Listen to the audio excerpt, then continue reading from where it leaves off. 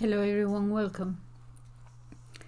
This is a repeat of a video that I did about um, three, four days ago on the Hebrews, the um, ancient Hebrews and Palestine.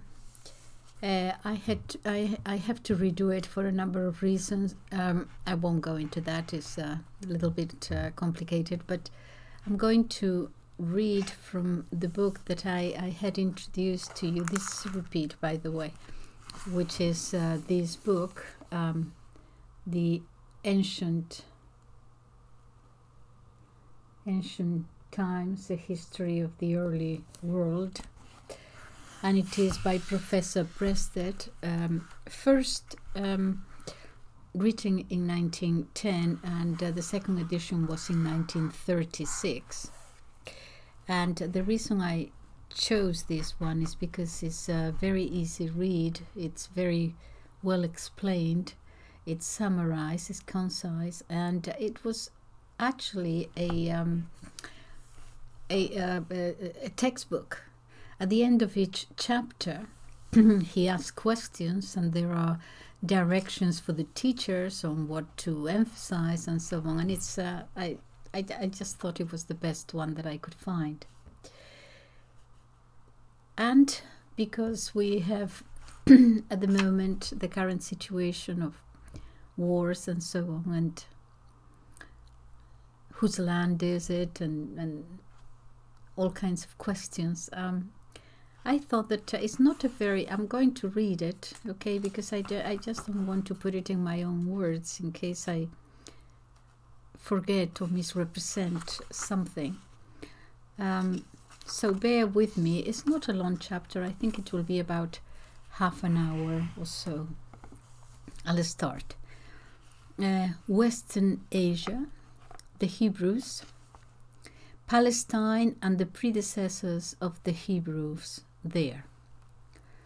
Situation and extent of Palestine, the home of the Hebrews. The home of the Hebrews was on the western end of the Fertile Crescent, in a land now called Palestine. It is the region lying along the southeastern corner of the Mediterranean, a narrow strip between desert and sea. For while the sea limits it on the west, the wastes of the desert bay sweep northward forming the eastern boundary of Palestine. It was about 150 miles long, and less than 10,000 square miles are included within these limits. That is, Palestine was somewhat larger than the state of Vermont in the United States. Much of this area is unproductive, or was unproductive, for the desert intrudes upon southern Palestine and rolls northward in gaunt and arid limestone hills, even surrounding Jerusalem. Let's look at the geographical character of Palestine first. The valleys of northern Palestine, however, are rich and productive. The entire land is without summer rains and is dependent upon the winter rainy season for moisture. There is no opportunity for irrigation, and the harvest is therefore scantier than in lands enjoying summer rains. Only the northern end of the Palestinian coast has any harvest but these were already had already been seized by the Phoenicians. Palestine thus remained cut off from the sea. In natural resources, it was too poor ever to develop prosperity or political power like its great civilized neighbors on the Nile and Euphrates or in Syria and Phoenicia. Here at the western end of the Fertile Crescent, as at the eastern end, the Semitic nomads, nomads from the desert bay mingled with the dwellers in the northern mountains of the highland zone. The northerners chiefly early Anatolians and then called Hittites, from Asia Minor and Syria, left their mark on the Semites of Palestine. The prominent aquiline nose, still considered to be the mark of the Semite, especially of the Jew, was really a feature belonging to the non Semitic Anatolians, who intermarried with the people of Palestine and gave them uh, this uh, an, uh, an, Anatolian uh, type of face. Strange faces from many a foreign clime crowded the marketplaces of Palestine amid a babel of various languages. Here, the rich jewelry, bronze dishes, and ivory furniture of the Nile craftsmen mingled with the pottery of the Aegean islands and of the highland civilization, and with the gay woolens of Babylon. The donkeys, which lifted their complaining voices above the hubbub of the market, had grazed along the shores of both Nile and Euphrates, and their masters had trafficked beneath the Babylonian tower temples as well as under the shadow of the Theban obelisks. We recall how traffic with Babylonia had taught these Western Semites to write in the cuneiform hand.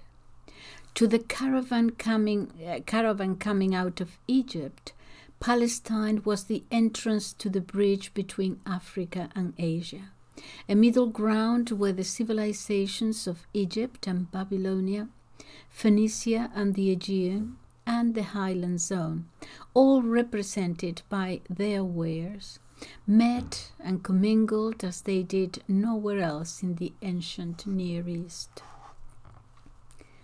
Just as the merchandise of the surrounding nations met in peaceful co- competition in the markets of Palestine, so the armies of these nations also met there in battle. The situation of Palestine between its powerful neighbors on the Nile and on the Euphrates made it the battleground where these great nations fought for many centuries. Over and over again, unhappy Palestine went through the experience of Little Belgium in the conflict between Germany and France in 1914. For many centuries, Egypt held Palestine as a subject country. We recall how Assyria later conquered it and Chaldea enslaved it, and we shall yet find it in the power of Persia. When, therefore, the Hebrews originally took possession of the land, there was little prospect that they would ever long enjoy freedom from foreign oppression. The settlement of the settlement of the Hebrews in Palestine and the united Hebrew kingdom. The Hebrew invasion into Palestine is about from 1400 to 1200 BC. The Hebrews were all originally men of the Arabian desert, wandering with their flocks and herds and slowly drifting over into the final home in Palestine. For two centuries, about 1400 to 1200 BC, their movement from the desert into Palestine continued. Another group of their tribes had been slaved in Egypt, where they had suffered much hardship under a cruel Pharaoh. They were successfully led out of Egypt by the heroic leader Moses, a great national hero whose achievements his people never forgot. On entering Palestine, the Hebrews found the Canaanites there, already dwelling there in flourishing towns protected by massive walls. The Hebrews were able to capture only the weaker Canaanite towns. As the rough Hebrew shepherds looked across the highlands of northern Palestine, they beheld their kindred scattered over far stretching hilltops with the frowning walls of many a Canaanite stronghold rising between them. Even Jerusalem in the Judean highlands for centuries defied the assaults of the Hebrew invaders, who had no siege machinery for attacking city walls. Let us remember that by that time these unconquered Palestinian towns possessed a civilization 1500 years old already, with comfortable houses, government, industries, trade, writing, and religion. The Hebrews adopt Canaanite civilization, a civilization which the Hebrew shepherds were soon adopting for they could not avoid intercourse with, this, uh, with the unsubdued Canaanite towns as trade and business threw them together. And this mingling with the Canaanites produced the most profound changes in the life of the Hebrews. Most of them left their tents and began to build houses like those of the Canaanites. They put off the rough sheepskin they had uh, worn in the desert, and they put on fine Canaanite raiment and gaily colored woolen wool, uh, woven wool. And after a time, in appearance, occupation, and manner of life, the Hebrews were not to be distinguished from the Canaanites among whom they lived. In short, they had adopted Canaanite civilization just as newly arrived immigrants among us soon adopt our clothing and our ways. These changes did not proceed everywhere at the same rate. In the less fertile south, the Hebrews were more attached to the old desert life, so that many would not give up the tent and the old freedom of the desert. The wandering life of the nomad shepherd on the Judean hills could still be seen from the walls of Jerusalem. Here, then, were two different modes of life among the Hebrews. In the fertile north of Palestine, we find the settled life of the town and its outlying fields, and in the south, on the other hand, the wandering life of the nomad still went on. For centuries, this difference formed an important cause of discord among the Hebrews.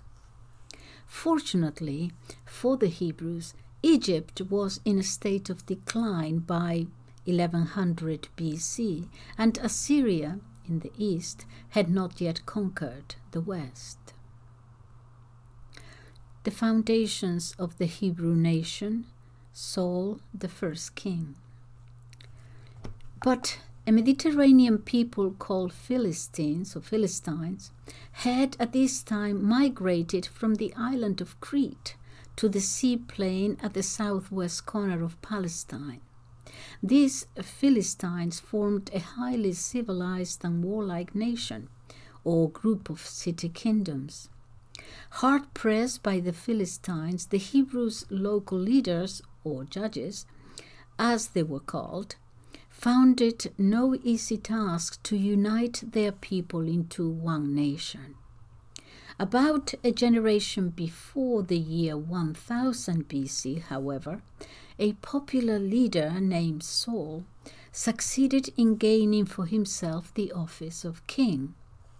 And the new king, this new king, was a southerner who still loved the old nomadic customs. He was not fond of a fixed abode and preferred to dwell in a tent. In a fierce struggle to thrust back the Philistines, Saul was disastrously defeated. And seeing the rout of the army, he fell upon his own sword and died. in a few years, the ability of David, one of Saul's daring men at arms whom he had just out, uh, unjustly outlawed, won the support of the south. So David, King David is going to be from about 1000 to 960 BC. Seeing the importance of possessing a strong castle, the sagacious David selected the ancient fortress on the steep hill of Jerusalem, hitherto held by the Canaanites. The oldest occurrence of the name of the place has recently been found in Egyptian writing, writings over a thousand years older than David's time. He took possession of the venerable city and made it his residence. Here he ruled for a time as king of the south. They were divided, yes till his valor as a soldier and his victories on all sides won him also the support of the more prosperous north. And the Philistines were now beaten off, and David ruled over an extensive Hebrew kingdom. He enjoyed a long and prosperous reign, and his people never forgot his heroic deeds as a warrior or his skill as a poet and singer. Solomon and the division of his kingdom. This is about 930 BC. David's son Solomon became like the Hammurabi in Egypt.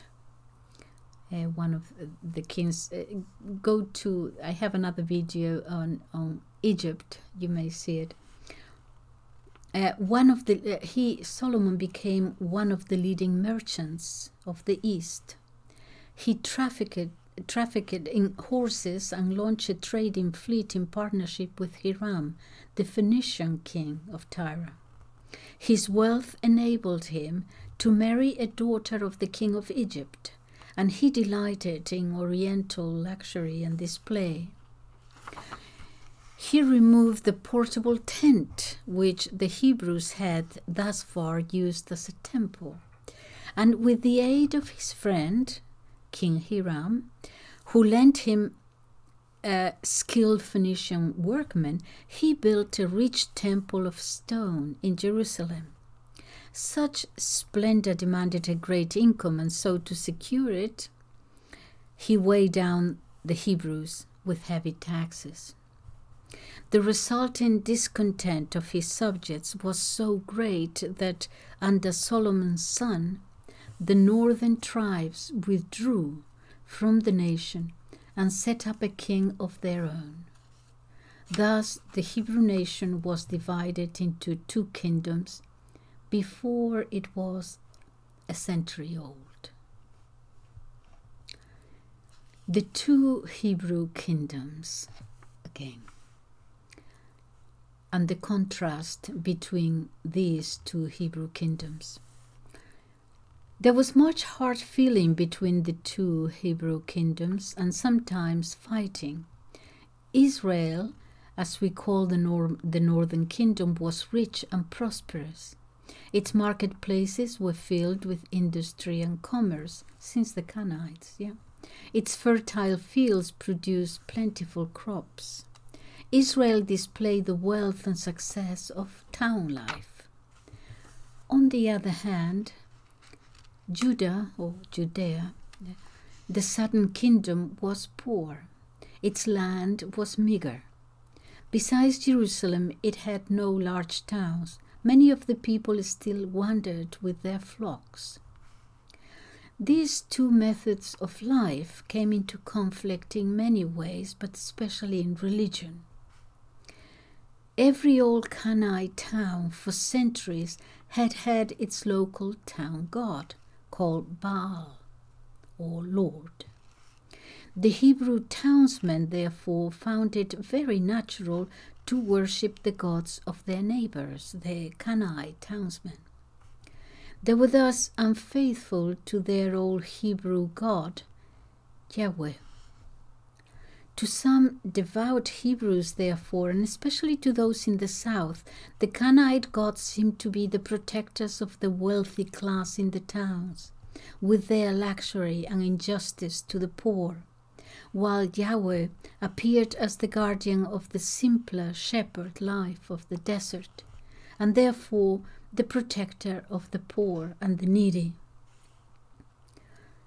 There was growing reason for such beliefs less than a century after the separation of the two kingdoms. Ahab, a king of the north, had had Naboth, one of his subjects, killed in order to seize a vineyard belonging to Naboth and thus to enlarge his palace gardens. Reports of such wrongs stir the anger of Elijah, a Hebrew of the old nomad habits, who lived in the desert east of the Jordan. Still wearing his desert sheepskin, he suddenly appeared before Ahab in the ill gotten vineyard and denounced the king for his seizure of it, or his theft. Thus, this uncouth figure from the desert proclaimed war between Yahweh and the injustice of town life. Elijah's followers seems to be a political leader. Elijah's followers finally killed not only the entire northern royal family but also the priests of the Canaanite gods or Baals.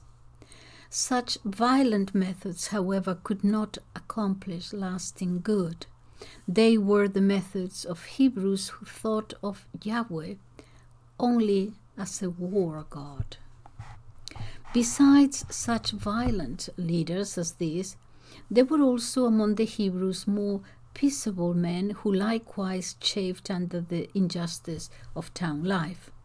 These turned fondly back to the grand old days of their shepherd wanderings, out on the broad reaches of the desert, where no man ground the faces on the, of the poor.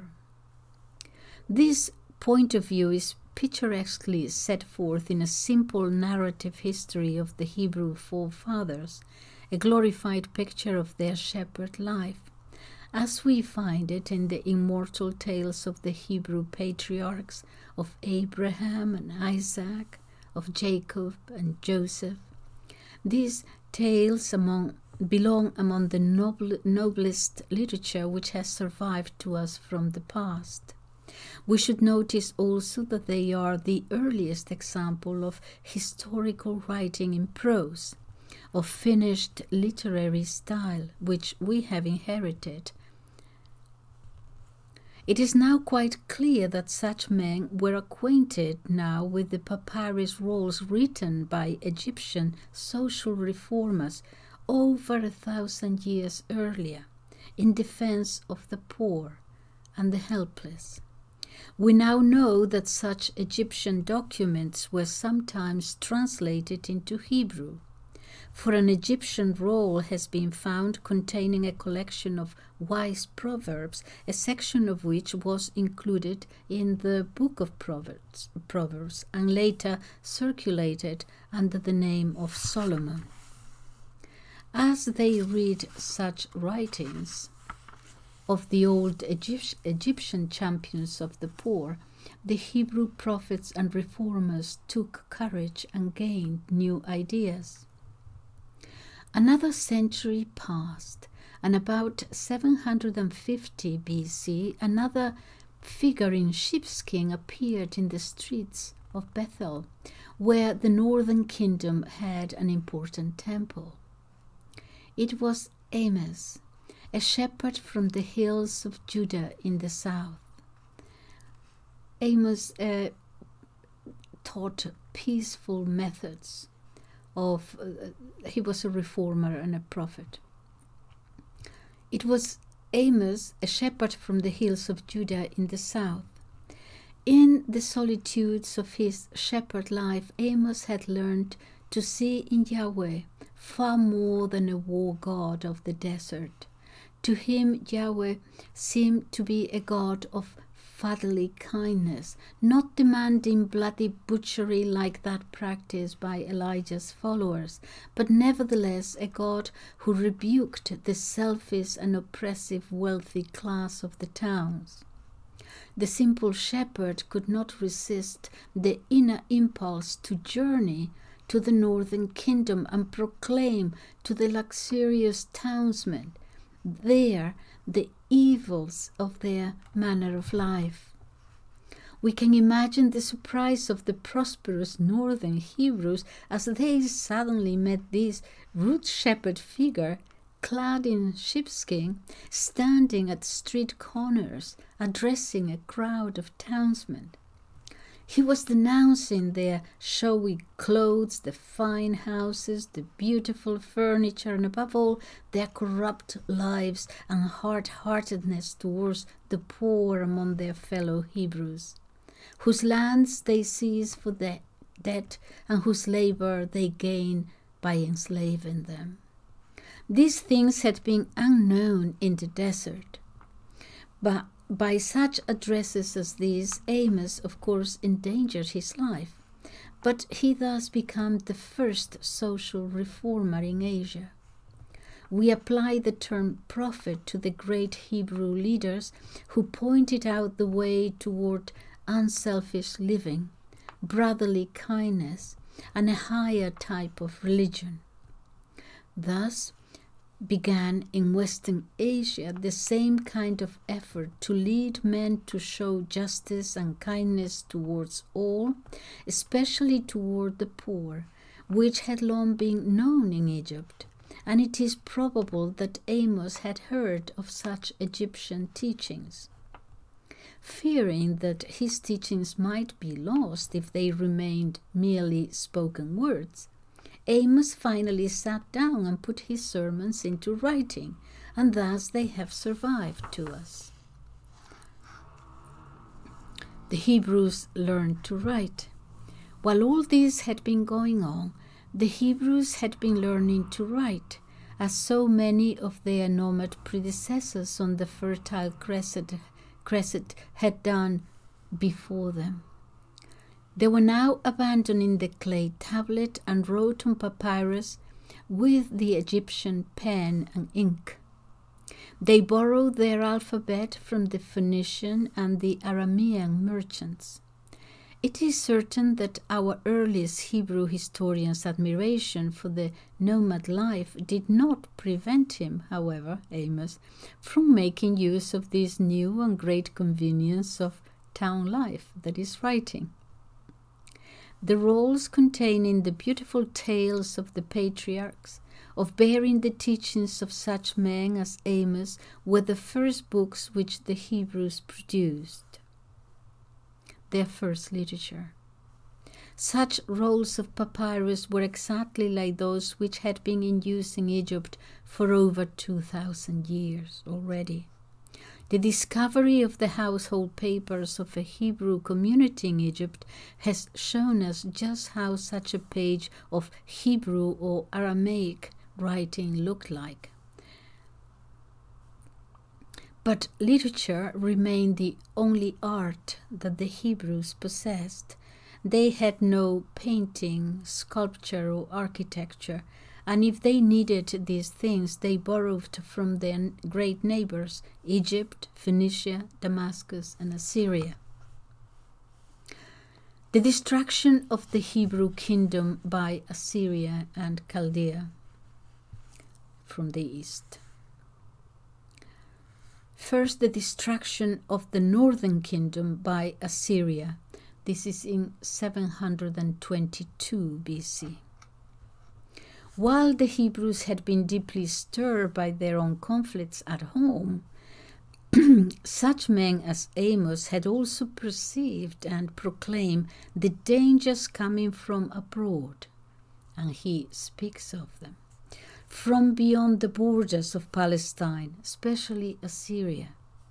Amos indeed announced the coming destruction of the northern kingdom by Assyria because of the evil lives of the people.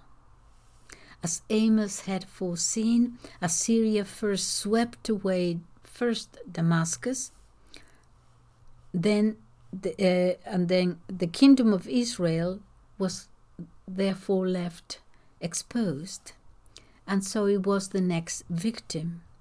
And Samaria, its capital, was captured by the Assyrians in the year 722 BC.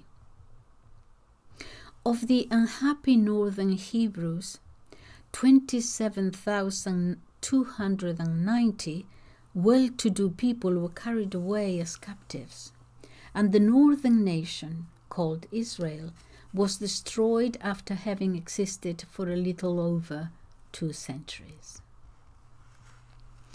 The national hopes of the Hebrews were now centered in the helpless little kingdom of Judah to the south, which struggled on for another for over a, a century and a quarter more in the midst of a great world conflict in which Assyria was the unchallenged champion. Thus, far thoughtful Hebrews had been uh, accustomed to think of their God as ruling in. I'll read that again. Thus far, thoughtful Hebrews had been accustomed to think of their God as ruling in Palestine only. But now they were learning that Palestine was part of a great political world. Did he, Yahweh, did he have the power also over the vast world arena where all the mighty nations were fighting? But if so, was not Assur, the great god of victorious Assyria, stronger than Yahweh, the God of the Hebrews? And many a despairing Hebrew, as he looked out over the hills of Palestine, wasted by the armies of Assyria, felt in his heart that Assur, the god of the victorious Assyrians, who ruled nearly all Western Asia, must indeed be stronger than Yahweh, the God of the Hebrews. It was in the midst of these somber doubts, like that in the years bef- in the years before 700 BC, that the princely prophet Isaiah in one great oration after another, addressed the multitudes which filled the streets of Jerusalem. The host of the hosts of Sennacherib were at the gates. That's the king. Um, and the terrified throngs in the city were expecting at any moment to hear the thunder of the great Assyrian war engines battering down the crumbling walls of their city, as they had crushed the walls of Damascus and Samaria before. Then the bold words of the dauntless Isaiah lifted them from despair like the triumphant call of a trumpet. He told them that Yahweh ruled a kingdom far larger than Palestine, that he controlled the great world arena, where he, and not Assur, was the triumphant champion. If the Assyrians had wasted and plundered Palestine, it was because they were but the lash, the lash in the hands of Yahweh, who was using them as a scourge in his own hands to punish Judah for its wrongdoings. Thus, while the people were momentarily expecting the destruction of Jerusalem, Isaiah undauntedly proclaimed a great and glorious future for the Hebrews and speedy disaster for the Assyrians. When at length a pestilence from the marshes of the eastern Nile delta swept away the army of Sennacherib and saved Jerusalem. It seemed to the Hebrews the destroying angel of Yahweh who had smitten the Assyrian host. Some of the Hebrews then began to see that Yahweh ruled a larger world than Palestine. Their own ideas were stimulated by the great sun hymn of Ikhnaton, the Egyptian king, which had long been circulating in Western Asia as one of the Hebrew psalm shows. This king, Ikhnaton, an Egyptian king, he was actually if you if you listen to the video on Egypt, he actually also thought perhaps the first one to think of a universal God, a kind God, and destroyed all the other gods of the Egyptian. Well, they had the, the, the sun and the Nile, and then together Osiris and so on, but destroyed all those temples and proclaimed the one omnipotent God, universal God. But it wasn't to last. After he died, they went back to, to the old gods. So compare these two passages from the hymns of one of the hymns of Ikhnaton, the Egyptian king, from from Ikhnaton's sung hymn, How manifold are thy works! They are hidden before men, O sole God, beside whom there is no other. Thou didst create the earth according to thy will. And then in the Psalms, the Psalm 104th,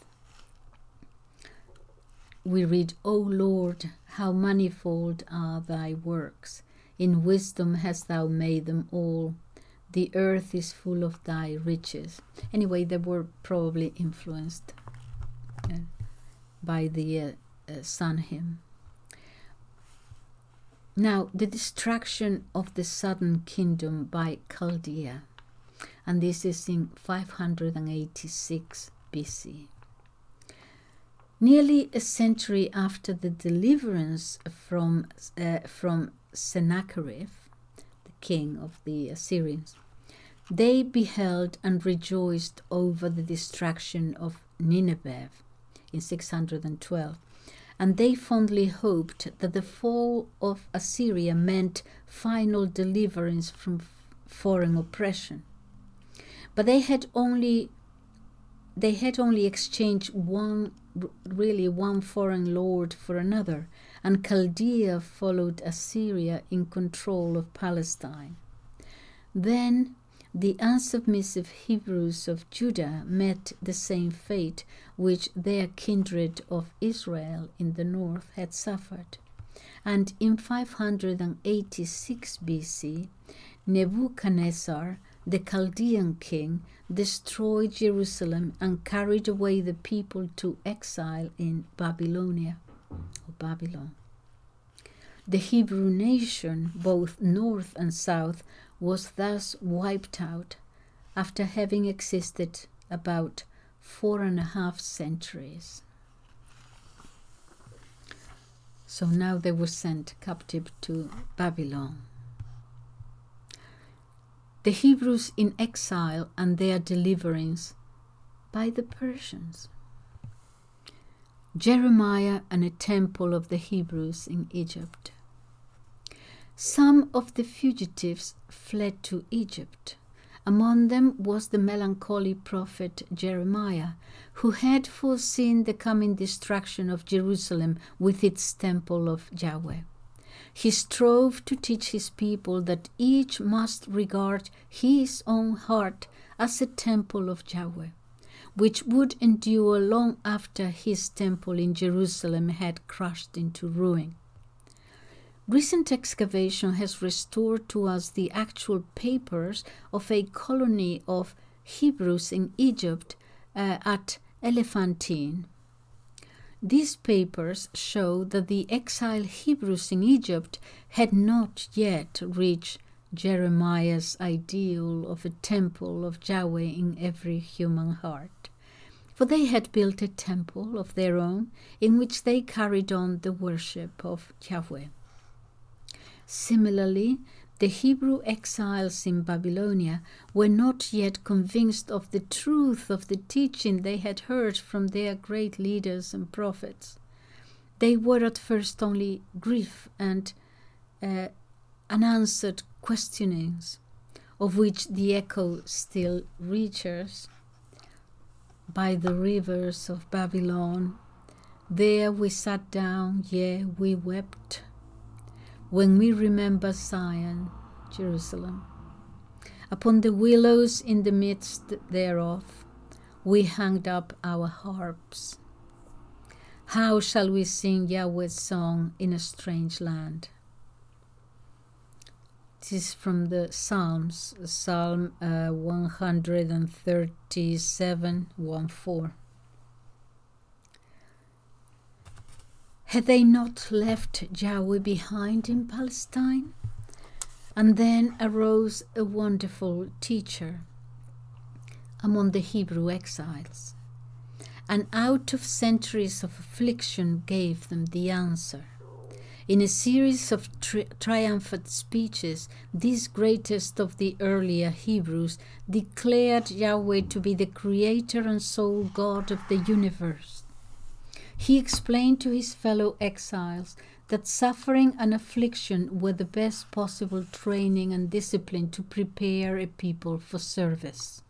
He announced, therefore, that by afflicting them, Yahweh was only preparing his suffering people for service to the world, and that he would yet restore them and enable them to fulfill a great mission to all men. He greeted the sudden rise of Cyrus, the Persian king, with joy. All kings, he taught, were but instruments in the hands of Yahweh who through the Persians would overthrow the Chaldeans and return the Hebrews to their land. Thus had the Hebrew vision of Yahweh slowly grown.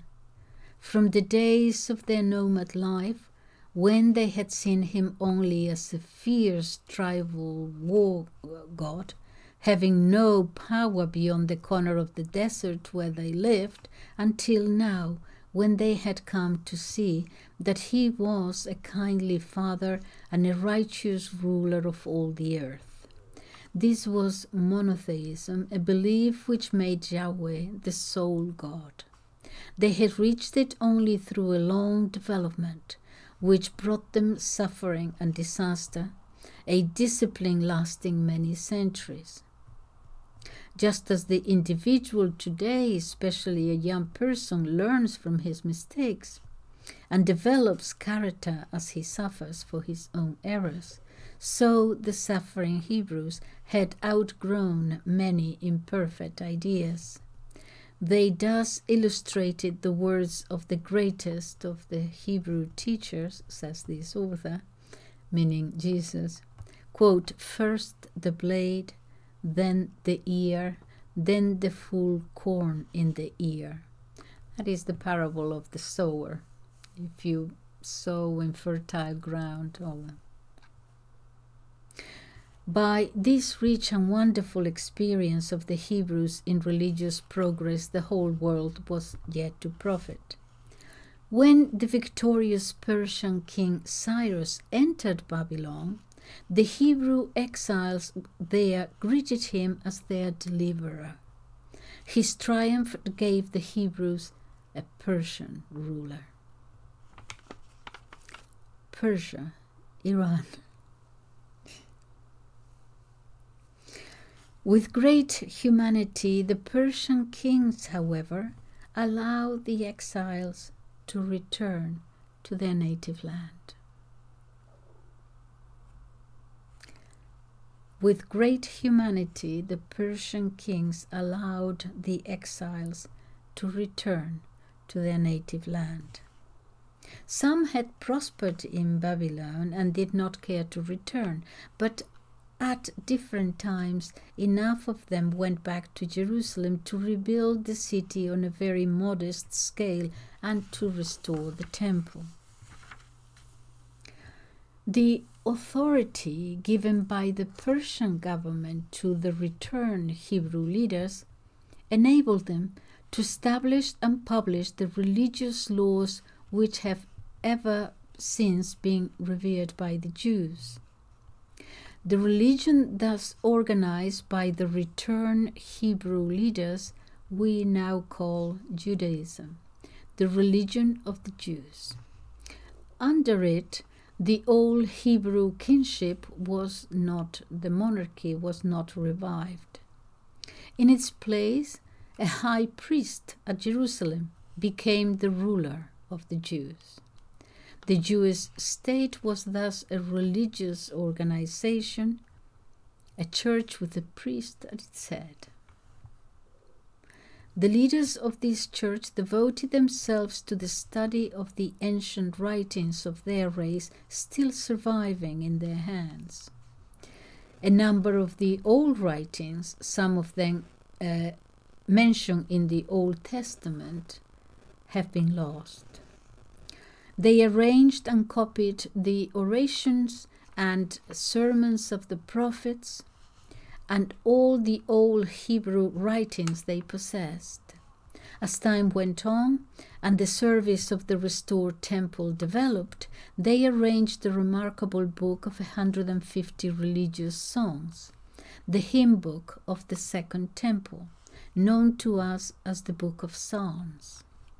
For a long time, indeed for centuries, these various Hebrew books, such as the Law, the Prophets, and the Psalms, circulated in separate rolls, and it did not occur to anyone to put them together to form one book. And this was not done until Christian times that the Jewish leaders put all these old writings of their fathers together to form one book. Printed in Hebrew as they were originally written, they form the Bible of the Jews at the present day. These Hebrew writings have also become a sacred book of the Christian nations. In it is it, it is called the Old Testament and is today the most precious legacy which we have inherited from the ancient Near East before the coming of Christ.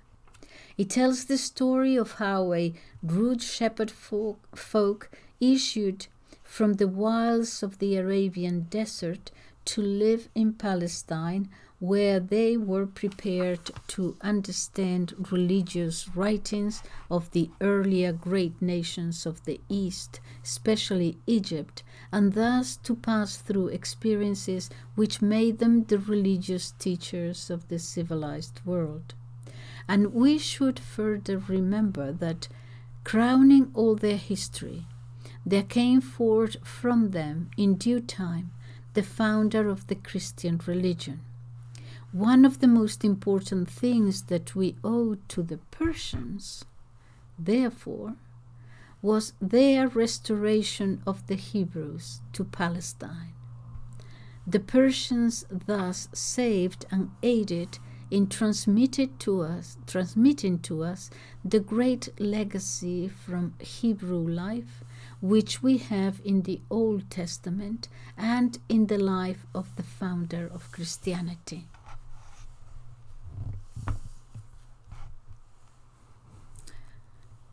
Thank you. I find it fascinating, actually. So many things here that I did not know. Um, thank you for listening. Bye bye.